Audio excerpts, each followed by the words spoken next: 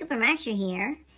In my never-ending quest to keep you informed and or educated, here's an interesting story. In the pre-dawn hours of November 12, 1833, the sky over North America seemed to explode with falling stars, unlike anything anyone had ever seen before, and visible over the entire continent. An Illinois newspaper reported the very heavens seemed ablaze. An Alabama newspaper described thousands of luminous bodies shooting across the sky in every direction. Observers in Boston estimated that there were over 72,000 falling stars visible per hour during the remarkable celestial storm. The Lakota people were so amazed by the event that they reset their calendar to commemorate it. Joseph Smith, traveling with Mormon refugees, noted in his diary that it was surely a sign of the Second Coming. Abraham Lincoln, Frederick Douglass, and Harriet Tubman, among many others, described seeing it. It became known as the night the stars fell. So, what was this amazing occurrence? Many of those who witnessed it interpreted it as a sign of biblical end times, but Yale astronomer Denison Olmsted sought a scientific explanation, and shortly thereafter he issued a call to the public perhaps the first scientific crowdsourced data gathering effort. At Olmsted's request, newspapers across the country printed his call for data.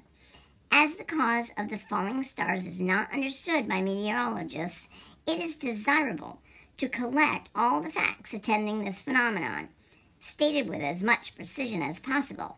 The subscriber therefore requests to be informed of any particulars which were observed by others, respecting the time when it was first discovered, the position of the radiant point above mentioned, and whether progressive or stationary, or any of the any other facts relate to the meteors. Olmsted published his conclusions the following year. The information he received from lay observers having helped him draw new scientific conclusions in the study of meteors and meteor showers.